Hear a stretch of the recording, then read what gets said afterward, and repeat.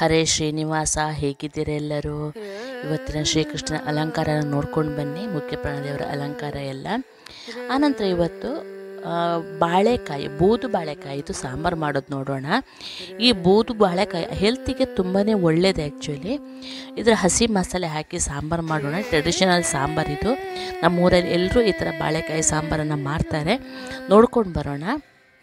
ಇದು ಹೆಲ್ತಿಗೂ ತುಂಬ ಒಳ್ಳೆಯದು ಈ ಬೂತ್ ಬಾಳೆಕಾಯಿ ನಾನೀಗ ತೋರಿಸ್ತೀನಿ, ಈಗ ನೋಡ್ಕೊಂಡು ಬರ್ಬೋದು ಈಗ. ನೋಡಿ, ಇದೇ ಬೂದು ಬಾಳೆಕಾಯಿ ಇದರ ಸಿಪ್ಪೆ ತೆಗೆದು ನೀರಲ್ಲಿ ಹಾಕಿಟ್ಟು ಚಿಕ್ಕ ಚಿಕ್ಕ ಪೀಸ್ ಮಾಡಿಟ್ಟು ಒಣಗಿಸಿಟ್ರೆ ಅದನ್ನ ಪುಡಿ ಮಾಡಿ ಮಕ್, ಮಕ್ಕಳ ಮಣ್ಣಿ ಮಾರ್ತೀವಲ್ವ, ರಾಗಿ ಮಣ್ಣಿ? ಅದಕ್ಕೂ ಹಾಕ್ತೀವಿ. ಇದು ಬೇದಿ ಆಗೋದನ್ನು ತಡೆಯುತ್ತೆ ಅಂತ ಹೇಳ್ತಾರೆ. ಹೆಲ್ತಿಗೆ ಅಂತೂ ತುಂಬಾ ಒಳ್ಳೆಯದು ಹಿಂದಿನ ಕಾಲದಲ್ಲೆಲ್ಲ ಯಾರಾದರೂ ತೀರಿ ತೀರ್ಕೊಂಡ್ರೆ ಅಥವಾ ವೈಕುಂಠ ಸಮಾರಾಧನೆಲ್ಲ ಮಾಡ್ತಾರಲ್ಲ ಆವಾಗ ಇದರ ಸಾಂಬಾರು ಮಾಡೇ ಮಾಡ್ತಾಯಿದ್ರು ಇದು ಮತ್ತು ಬೂದು ಕುಂಬಳಕಾಯಿ ಇತ್ತು ಈ ಊರಲ್ಲಿ ಇದು ವಿಶೇಷ ಆ್ಯಕ್ಚುಲಿ ಮನೆಗೆ ಹಾಗೆಯೇ ತರಬಾರ್ದು ಅಂತಾರೆ ನನಗೆ ಯಾಕೋ ತೀರಾ ಮೂಢನಂಬಿಕೆ ಅಂತ ಅನಿಸುತ್ತೆ. ನನಗೆ ಮೊನ್ನೆ ಅಪ್ಪನ ಮನೆಯಿಂದ ಅಮ್ಮ ಕೊಟ್ಟು ಕಳಿಸಿದ್ರು. ನನ್ನ ತಮ್ಮನ ಹೆಂಡತಿ ಬಂದಾಗ ತಗೊಂಬಂದಿದ್ಲು. ಅದನ್ನ ದೇವರಿಗೆ ನೈವೇದ್ಯ ಮಾಡಿ ಅಥವಾ ದೇವರಿಗೆ ಇಟ್ಟು ನಮಸ್ಕಾರ ಮಾಡಿ ನಾವು ಯೂಸ್ ಮಾಡ್ತೀವಿ. ಏನೂ ಆಗೋದಿಲ್ಲ. ಅದನ್ನು ನೀಟಾಗಿ ನಾರು ಹೋಗೋ ಥರ ಸಿಪ್ಪೆ ತಕ್ಕೊಳ್ಳಿ ವಿಡಿಯೋದಲ್ಲಿ ತೋರಿಸಿದಂಗೆ. ಆನಂತರ ಚಿಕ್ಕ ಚಿಕ್ಕದಾಗಿ ಹೆಚ್ಚಿ ಒಂದು ಐದರಿಂದ ಹತ್ತು ನಿಮಿಷದೊಳಗೆ ಇದು ಬೇಯುತ್ತೆ. ಎಲ್ಲನೂ ಹೀಗೆ ಕಟ್ ಮಾಡಿಕೊಂಡು ನೀರಲ್ಲಿ ಹಾಕಿಡಿ. ಕೈಗೆ ಅಂಟ್ಕೊಳ್ಳುತ್ತೆ ಬಾಳೆಕಾಯಿ ಕಟ್ ಮಾಡಿದಾಗ ಅದಕ್ಕೆ ಸ್ವಲ್ಪ ಎಣ್ಣೆ ಅಪ್ಲೈ ಮಾಡಿಕೊಳ್ಳಿ. ನೋಡಿ, ಎಲ್ಲ ಹೆಚ್ಚಿಟ್ಟಾಯಿತು. ಅದರ ನೀರು ಖಾಲಿ ಮಾಡಿ ಅರಿಶಿನ ಹಾಕಿ ಅದನ್ನ ಬೇಯಕ್ಕೆ ಇಟ್ಬಿಡಿ.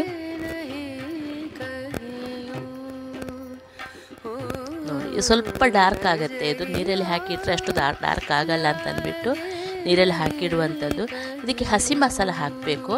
ಕೆಂಪು ಮೆಣಸು ಜೀರಿಗೆ ಹಾಕಿ ಒಂದು ರೌಂಡ್ ತಿರುಗಿಸಿಕೊಂಡು ಆನಂತರ ತೆಂಗಿನಕಾಯಿ ಸ್ವಲ್ಪ ಹುಣಸೆ ಹಣ್ಣು ಹಾಕಿ ಒಟ್ಟಿಗೆ ರುಬ್ಕೊಳ್ಳಿ. ನೋಡಿ ಆನಂತರ ಆ ಮಸಾಲೆಗೆ ಉಪ್ಪು ಮತ್ತು ಬೆಲ್ಲ ಹಾಕಿಟ್ಕೊಂಡ್ರೆ ಬಾಳೆಕಾಯಿ ಬೆಂದ ತಕ್ಷಣ ಅದಕ್ಕೆ ನಾವು ಹಾಕಿ ಬಿಡ್ಬೋದು ಬೆಲ್ಲ ಸ್ವಲ್ಪ ಜಾಸ್ತಿ ಬೇಕು ಇದಕ್ಕೆ. ಒಂದು ಸ್ವಲ್ಪ ಒಗರು ಇರುತ್ತೆ ಇದು. ನೋಡಿ, ಇದು ಬೇಯ್ತಾ ಉಂಟು. ನಾನು ಒಲೆಯಲ್ಲಿ ಮಾಡ್ತಾ ಇದ್ದೀನಿ, ಕಾಣ್ಬೋದು ನೀವಿಲ್ಲಿ. ಇದು ಬೇಯ್ಲಿಕ್ಕೆ ಆಯ್ತು ಇದು. ಬೆಂದ ನಂತರ ಅದಕ್ಕೆ ಮಸಾಲೆ ಹಾಕಿ ಒಂದು ಕುದಿ ಬರೆಸಿದ್ರೆ ಆಗೋಯಿತು. ಆನಂತರ ಅದಕ್ಕೆ ಸಾಸಿವೆ ಉದ್ದಿನಬೇಳೆ ಎಣ್ಣೆಯಲ್ಲಿ ಒಗ್ಗರಣೆ ಕೊಡಿ. ಹಸಿ ಮಸಾಲಕ್ಕೆ ಯಾವತ್ತೂ ನಾವು ಒಗ್ಗರಣೆ ಕೊಡಬೇಕು. ಇಲ್ಲಾಂದ್ರೆ ಅಡ್ಡ ಸ್ಮೆಲ್ ಬರುತ್ತೆ ಅದು. ಸ್ವಲ್ಪ ಇಂಗು ಹಾಕ್ಕೊಳ್ಳಿ ಒಗ್ಗರಣೆಗೆ. ಯಾಕಂದರೆ ಸ್ವಲ್ಪ ಇದು ಗ್ಯಾಸ್ ಅಂತ ಹೇಳ್ತಾರೆ. ನಾನು ಬೆಳಗ್ಗೆ ಬೇಗನೆ ಇಲ್ಲಿ ಅಡುಗೆ ಮಾಡಿರ್ತೀನಿ. ಮಗನಿಗೆ ಡಬ್ಬಕ್ಕೆ ಕೊಡಬೇಕು ಆದ ಕಾರಣ. ನೋಡಿ, ಸಾಸಿವೆ ಮತ್ತು ಉದ್ದಿನ ಬೆಳೆಯಲ್ಲಿ ಒಗ್, ಒಗ್ಗರಣೆ ಕೊಟ್ಟರೆ ಆಗಿಬಿಡ್ತು.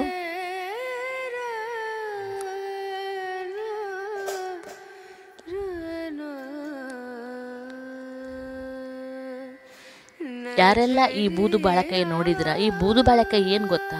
ಶುಗರಿಗೂ ಒಳ್ಳೆಯದು ಅಂತ ಹೇಳ್ತಾರೆ. ಯಾಕಂದರೆ ಅದರ ಒಗರಿನ ಅಂಶ ಜಾಸ್ತಿ ಇರುತ್ತೆ. ಆದ ಕಾರಣ ಬೂದು ಬಾಳೆಕಾಯಿದು ಹಣ್ಣು ಚೆನ್ನಾಗಿರುತ್ತೆ ಕಾಯಿ ಸಾಂಬಾರಿಗೂ ಚೆನ್ನಾಗಾಗುತ್ತೆ. ಇನ್ನೇನೆಲ್ಲ ಮಾಡಲಿಕ್ಕಾಗುತ್ತೆ ಅಂತ ನಾನು ಮುಂದಿನ ವೀಡಿಯೋಗಳಲ್ಲಿ ಹೇಳ್ತಾ ಬರ್ತೀನಿ. ಹಣ್ಣು ಬಾಳೆಹಣ್ಣಿದು ತುಂಬ ಚೆನ್ನಾಗಾಗುತ್ತೆ. ನೋಡಿ, ಇದು ಆಗ್ತಾ ಬಂತು. ಅದಕ್ಕೆ ಒಗ್ಗರಣೆ ಕೊಟ್ಟು ಮುಚ್ಚಿಟ್ಟು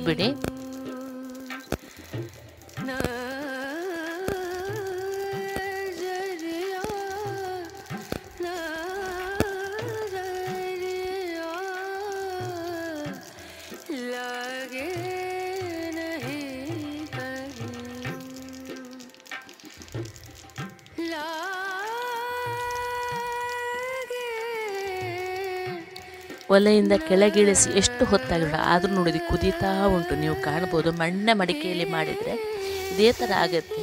ಒಂದೇ ಸಲಕ್ಕೆ ತಣ್ಣಗಾಗೋದಿಲ್ಲ ಒಂದೇ ಸಲಕ್ಕೆ ಬಿಸಿನೂ ಆಗೋದಿಲ್ಲ ಅದಕ್ಕೆ ಅದರ ವಿಟಮಿನ್ಸ್ ಎಲ್ಲ ಹಾಗೆಯೇ ಉಳ್ಕೊಳ್ಳೋದು ಅಂತ ಅನಿಸುತ್ತೆ.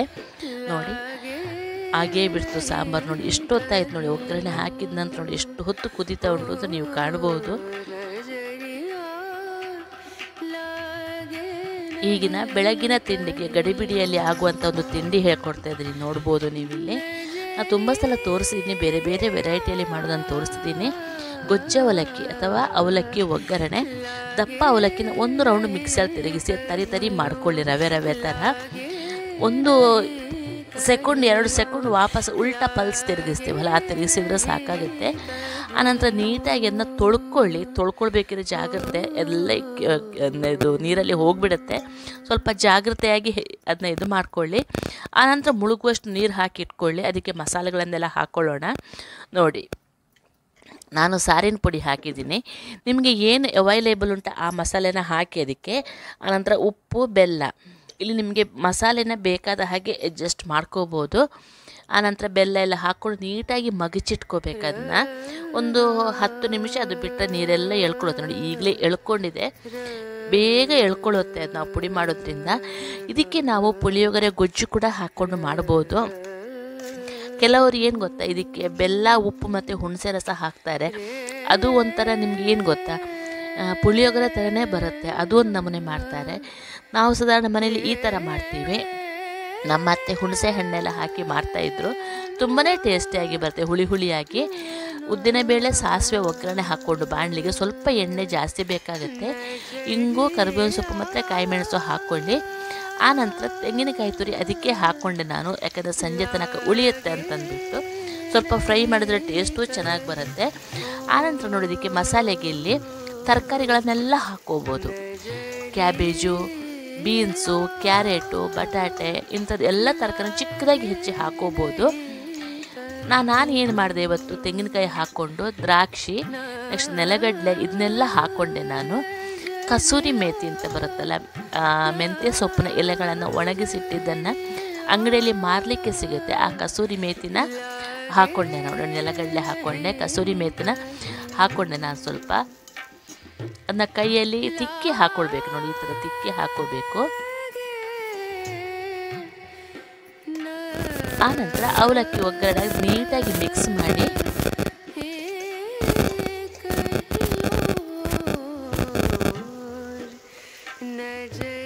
ಮಿಕ್ಸ್ ಮಾಡಿ ಒಂದು ಐದು ನಿಮಿಷ ಬೇಯಕ್ಕೆ ಇಟ್ಬಿಡಿ.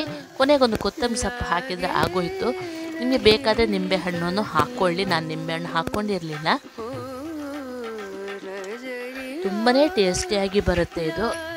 ಅವಲಕ್ಕಿದು ಮಾಡಿದ್ದು ಅಂತ ಯಾರೂ ಹೇಳಲ್ಲ. ನಾನು ತುಂಬ ಸಲ ಈ ವಿಡಿಯೋ ತೋರಿಸ್ತಾ ಇದ್ದೀನಿ. ಯಾಕಂತಂದರೆ ಮಾಡಲಿಕ್ಕೆ ತುಂಬ ಸುಲಭ. ನಿಮಗೆ ತರಕಾರಿ ಬೇಕಾದರೆ ತರಕಾರಿ ಬೇಕಾದರೆ ಹಾಕ್ಕೊಂಡು ಮಾಡ್ಬೋದು. ಲಂಚ್ ಬಾಕ್ಸಿಗೆಲ್ಲ ಹೇಳಿ ಮಾಡಿಸಿದಂಥ ತಿಂಡಿ ಇದು. ಮಧ್ಯಾಹ್ನ ತನಕ ನಿಮಗೆ ಡ್ರೈ ಅಂತ ಅನಿಸೋದೇ ಇಲ್ಲ. ಕರೆಕ್ಟ್ ನೀರಲ್ಲಿ ಮುಳುಗಿಸಿರೋದು ಇದು ತುಂಬ ಇಂಪಾರ್ಟೆಂಟ್ ಆಗುತ್ತೆ. ಜಾಸ್ತಿ ನೀರು ಹಾಕಿದರೆ ಬೆಜ್ಜಾಗಿದೆ ಕಡಿಮೆ ನೀರು ಹಾಕಿದರೆ ಬೇಯೋದಿಲ್ಲ. ಮುಳುಗುವಷ್ಟು ನೀರು ಹಾಕಿದರೆ ಸಾಕಾಗುತ್ತೆ ನೋಡಿ. ಕೊತ್ತಂಬರಿ ಸೊಪ್ಪು ಹಾಕ್ಕೊಂಡು ತಿಂಡಿ ರೆಡಿ ಆಗಿಬಿಡ್ತು.